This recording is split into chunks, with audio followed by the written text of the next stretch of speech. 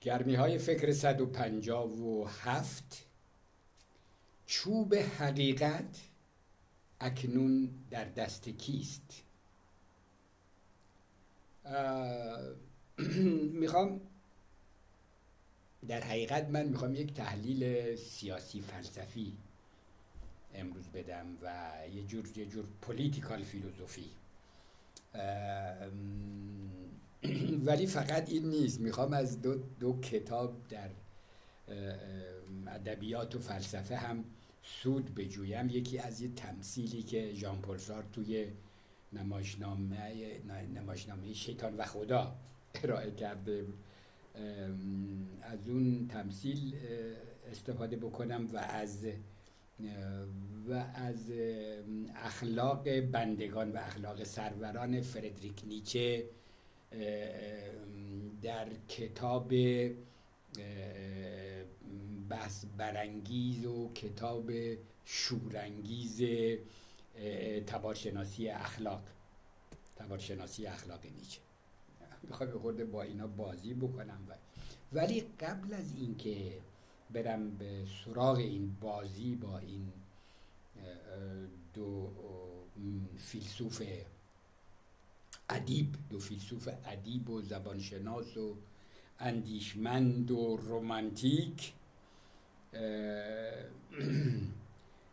می‌خواستم ولی اول یه چیزی رو تر بکنم. ببینید دموکراسی دموکراسی یعنی به معنی خیلی خیلی اصیلش و درستش یعنی الهاز فردی یعنی آدم دموکرات کسیه که خوب بتونه تفکیک بکنه.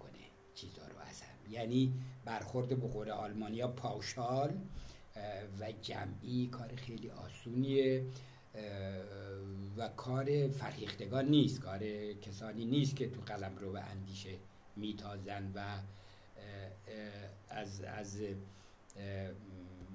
پیچیدن با پیچیدگی ها لذت می‌برند و می‌خوان اون اونها رو یه مقدار باز بکنن و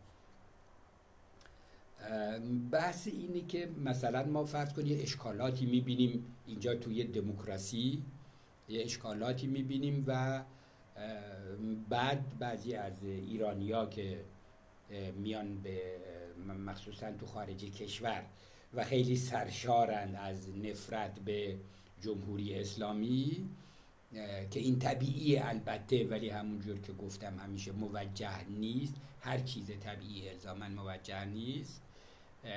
حالا بعد شروع می‌کنن بابا این دموکراسیه پس اصلا ما دموکراسی نمی‌خوایم برای که دموکراسی اینه اینه این نقطه ضعف و ایرادات خب بسیار زیادی در کارکردهای دموکراسی وجود داره و به هر حال به هر حال نباید فراموش بکنیم که که مسئله ابو غریب و شکنجه هایی که در اونجا داده شد اینها که روی همه خشنترین دیکتاتوری ها رو هم تا حد زیادی سفید کرد اینا به هر حال کارکرد بیرونی یه حاکمیت دموکراتیک اون هم تو آمریکا بود و این رو کسانی که خیلی سهل و ساده از کنار اینها میگذرن از همونایی که باز تحت عنوان طرفداری از دموکراسی با دموکراسی برخورد پاوشال یعنی برخورد کلی برخورد کلیت گرا کلیت گرا می‌کنن و الا اینا رو همه باید تفکیک کرد و نقد نقد انتقاد انتقاد یعنی همین تفکیک همین توانایی تفکیک. فن انتقاد حتی می‌تونیم بگیم دانش انتقاد از توانایی تفکیک بین جنبه های گوناگون برمیاد. طرفداری پاشال از یه چیزی طرفداری کلی. من این پاشال رو میگم چون واقعا یه کلمه خیلی خوبیه تو زبون آلمانی. لحاظ اینجور استتیکی خوب بیان می‌کنه. اینی که خب هموطنهاییم که آلمانی بلد نیستن ولی خیلی راحت می‌تونن این پاوشال رو چون یک کلمه است یاد بگیرن. پس این یکیست که که دموکراسی هم انتقاداتی رو که بهش وارد هست در حقیقت البته انتقاد به سرمایه داریه به اون به اون به اصطلاح کارکرد کارکرد مخصوصا سیاسی و اجتماعی کاپیتالیزم توی جامعه دموکراتیک طبیعتا مثلا فرض کنید فروش اسلحه. خب جنگ ها که وجود دارن حقیقتش اینه که خب جنگ یعنی اسلحه که تولید میشه پول بسیار بسیار هنگفتی وارد کشور می‌کنه و این به هر حال باید جنگ باشه که این اسلحه بتونه ازش استفاده بشه. یعنی اینی که میگم این انتقادات در حقیقت کمتر به دموکراسی مربوطه بلکه بیشتر به اون قشری که بر این دموکراسی حاکمه و بهش حکومت می‌کنه از طریق محدود کردن اون بهش حکومت می‌کنه. این برخورد رو حتی تو عالم فلسفه و جامعه شناسی هم ما می‌شناسیم. مثلا تو ماکس وبر توی هابرماس مثلا تو در اون کتاب بزرگش کتاب بزرگش به نام چیز تفاهم ارتباطی حالا اسم کاملش الان خاطرم نیست. توی اون به ماکس وبر انتقاد می‌کنه میگه اون به اصطلاح نردش به دموکراسی توی دموکراسی غربی این رو در نظر نمی‌گیره که به هر حال ما که به هر حال ما توی این شکاف هایی توی این سوراخ ها و منافذی که توی این چیز وجود داره استفاده می‌کنیم حرفامون رو می‌زنیم نظراتمون رو میگیم و اینا چیز دموکراسیه. اینا اینا همون امید دموکراسیه همون چیزاییه که و الا خب اگر اونها هم نبود اون وقت حرف لنین درست در میمد که می‌گفت شباهت دموکراسی ها و دیکتاتوری ها اینه که ماهیت هر دوشون طبقاتیه و هر کدومشون برای اعمال چیز منابع طبقاتی خودش چیز می‌کنه. ولی حقیقت اینه که این حرف لنین درست نیستش. و فراتر از فراتر از تحلیل های طبقاتی دموکراسی. ولی در عین حال ولی در عین حال باید آدم بتونه تفکیک بکنه و همینطوری طرفداری نکنه از دموکراسی. چیزی که الان تو خارج کشور تو هموطنهای ایرانی خیلی رایجه اینه که اینا دموکراسی را با دولت های حاکم بر دموکراسی اشتباه می‌گیرن و اینا تحت عنوان دفاع از دموکراسی از کارکرد دولت های حاکم طرفداری می‌کنن. اینه که کشیده میشن تو این جریانات. اخیر مثلا مخصوصا با این رانه نفرت به جمهوری اسلامی کشیده میشن به طرفداری مستقیم یا غیر مستقیم به هر شکل. اسرائیل اونم در اون جریان این قشر این قشر این گروه به لاتی که الان بر اسرائیل حاکمه تا اونجا تا اونجا یعنی به چیز کشیده میشه.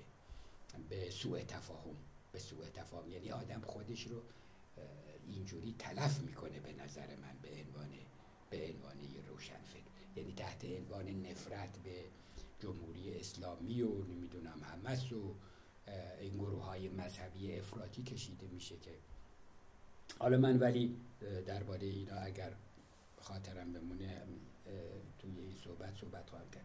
یه چیزی که ژان پل سارتر میگه اینه. میگه توی توی چیز. میگه سرهنگوت سرهنگوت.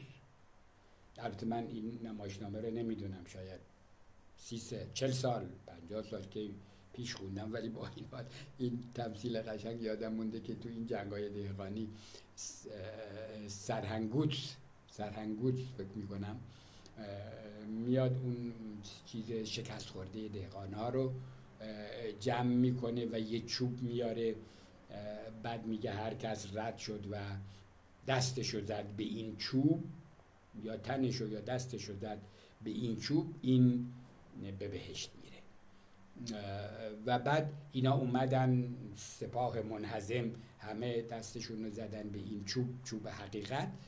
من بهش میگم و بعد رفتن توی جنگ بعدی که کردن زدن نابود کردن دشمنو و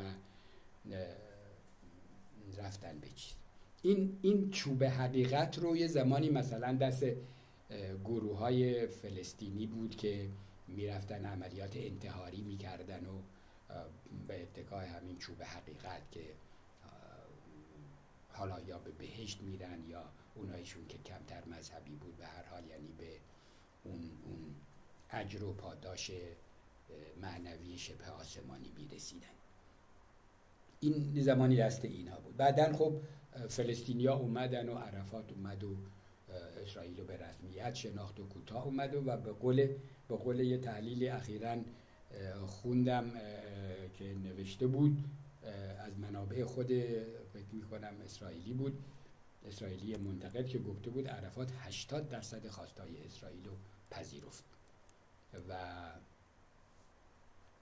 80 درصد این خواستار رو پذیرفت و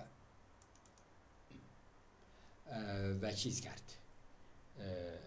و تا, تا یعنی یعنی تا اون هر جلو رفت. یعنی دیگه اینجا چوب حقیقت از دست فلسطینیا بیرون اومد و چیز در واقع از بعد از ترور از بعد از ترور نخست وزیر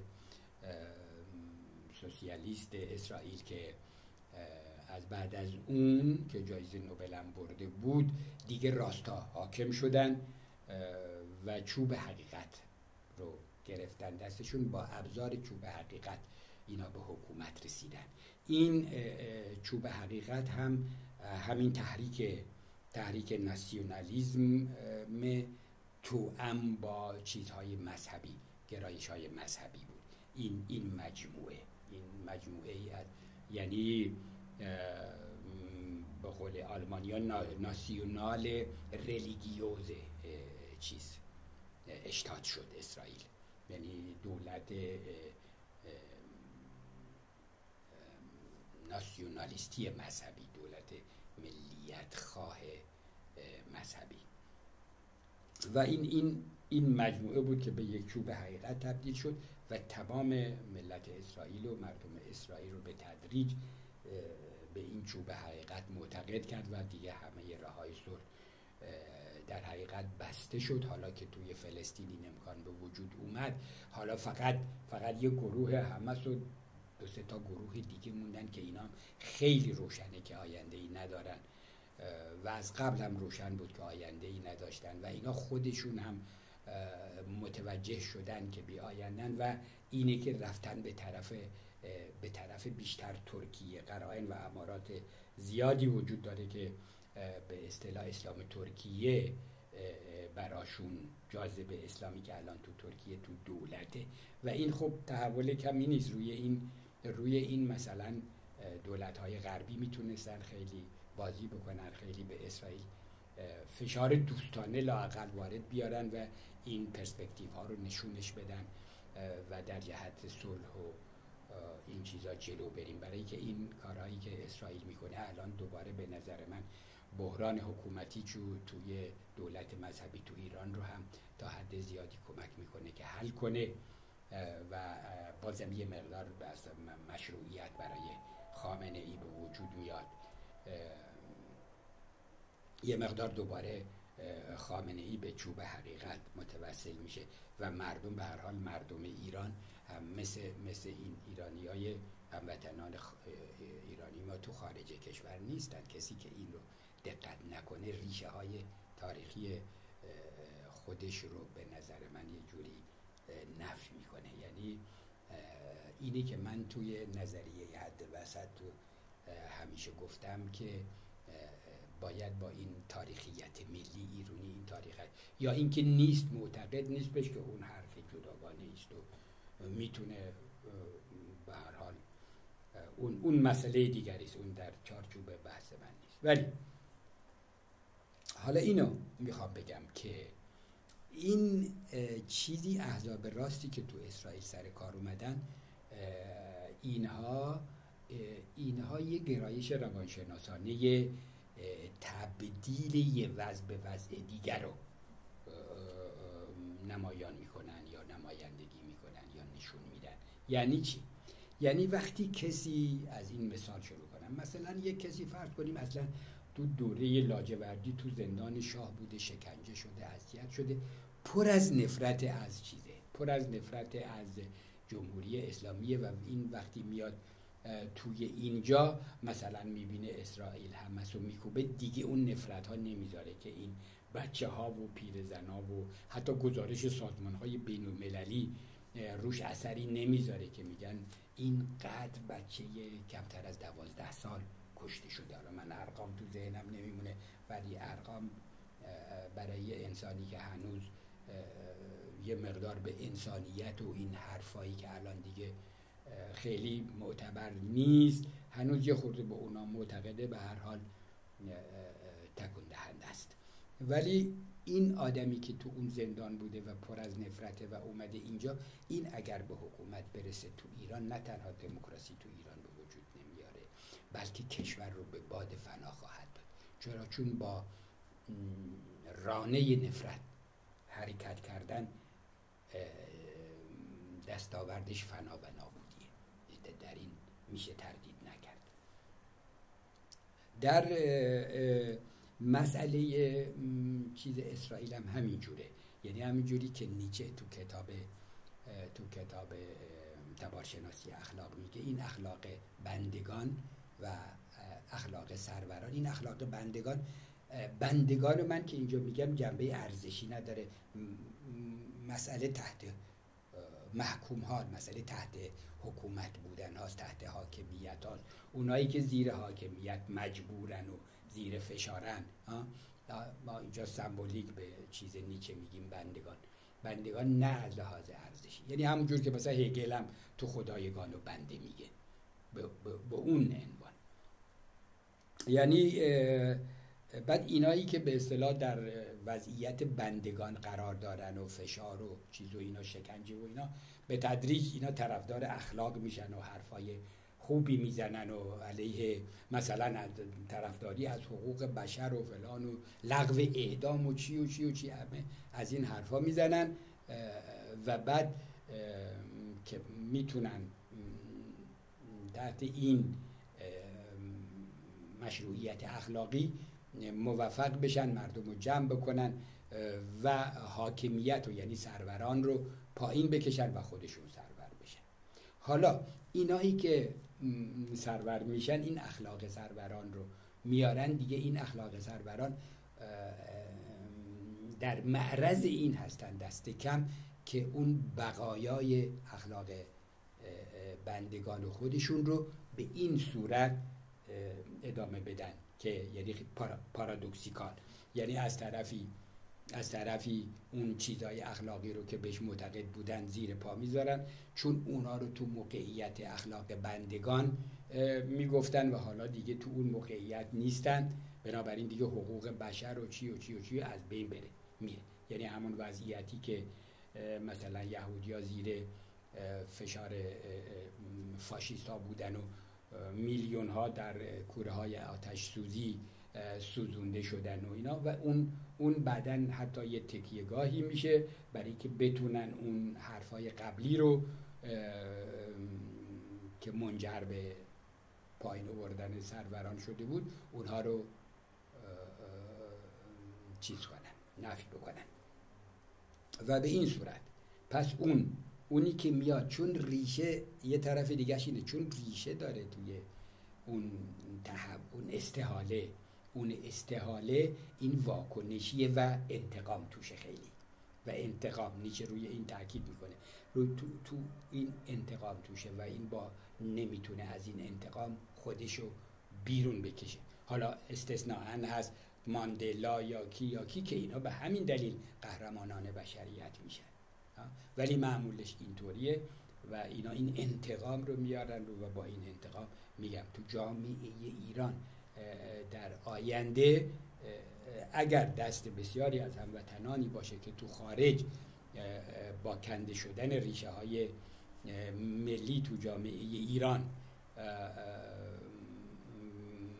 و چیزهای ضد مذهبی اون متافیزیک ضد مذهبی که اینجا بسیار رشد کرده با اینها اگر حرکت بکنن یعنی با این وضعیت انتقامی توی چیز توی این این چیز اگر به حکومت برسه تو ایران ایران به تلاشی دوچار خواهد شد. خوشبختانه داخل جامعه داخل جامعه ایران به نظر من این وضعیت نیست.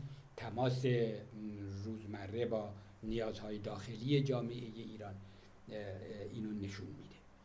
ولی این یک حقیقتی رو من اینجا می‌خوام از این بکشم بیرون که که اگر اگر اینطوریه که اگر اینطوریه که با با خشونت با خشونت یعنی خطر آینده تو ایران خشونتی که انتقام توشه و واکنشیه یعنی تبدیل اخلاق بندگان به اخلاق سروران باشه و این مکانیزم این تبدیل و استحاله با خشونت و با انتقام و اینا همراهه. چرا؟ چون رانه نفرت اون رو جلو میرونه. در این صورت ما باید توی فکر بریم.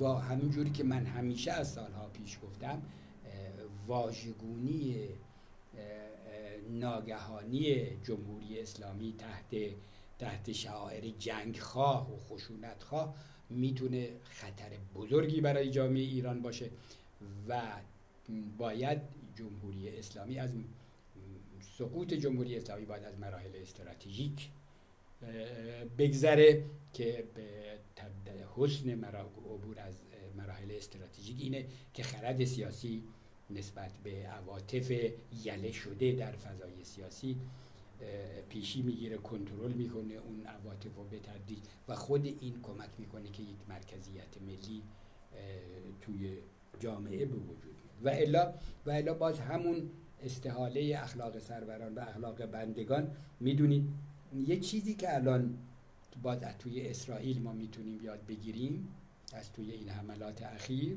که که نخوت قومی خیلی بعد این نخوت قومی که تو احزاب راست اون رو نمایندگی می‌کنن این نخوت قومی به غرور پیروزی احتیاج داره. نخوت, نخوت قومی بدون غرور پیروزی نمی‌تونه مردم رو بکشه. یعنی اون چوب حقیقت رو به مردم نشون بده یا اونا رو دعوت بکنی بیان بهش دست بزنن. حالا دست زدن هم الان مجازی هم ممکنه. یعنی می‌بری تو اینترنت و به اصطلاح تو فضای مجازی با اون چوب حقیقت رابطه بگیره. یعنی این گرایش ناسیونالیستی مذهبی ناسیونال ریلیگیوز فاکتور. این این این چیزه. این, این یه نخوت قومی خودش که به غرور پیروزی احتیاج داره و برای همین هم که به جنگ های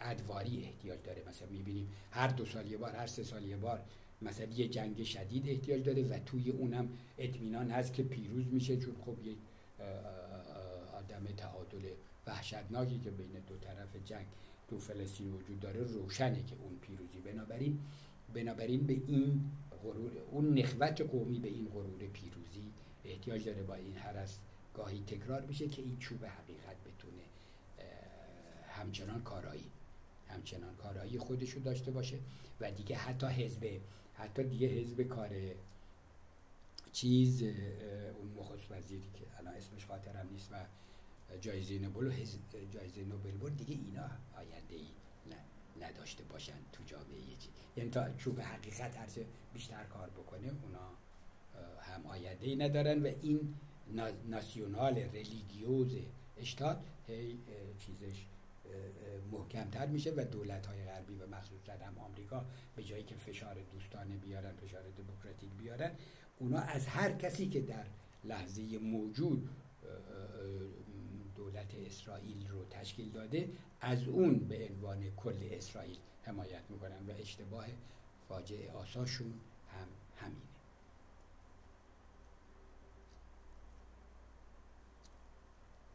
این این مسئله که در حقیقت این تحلیل سیاسی و روانشناسانه است که خواستم خواستم ارائه بدم که این فقط در سطح در سطح ماکرو فقط عمل نمی‌کنه در سطح فردی هم همینجور تو روشن فکرهای زیادی داریم که با این برخوردهای پاشال و اینکه پیروی از شیفتگی به دولت های غربی رو با تجلیل از دموکراسی غربی اینا رو قاطی می‌کنن و به نحو وحشتناکی به خودشون آسیب می‌زنن. قدرت توان انتقادی و توان تفکیک رویدادهای اجتماعی و سیاسی رو هم به این صورت از دست میدن و میشن و میشن چیز به حال پسیو مخاطب پاسیو دستگاه های تبلیغاتی توی کشورهای غربی.